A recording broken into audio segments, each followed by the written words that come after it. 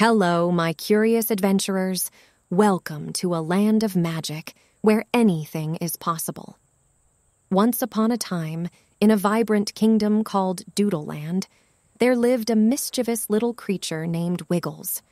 Wiggles had a peculiar habit of asking endless questions, leaving the others baffled. One day, Wiggles stumbled upon a mysterious door, and his curiosity piqued. I wonder what's behind this door, he pondered. With a brave heart, he turned the doorknob and a blinding light engulfed him.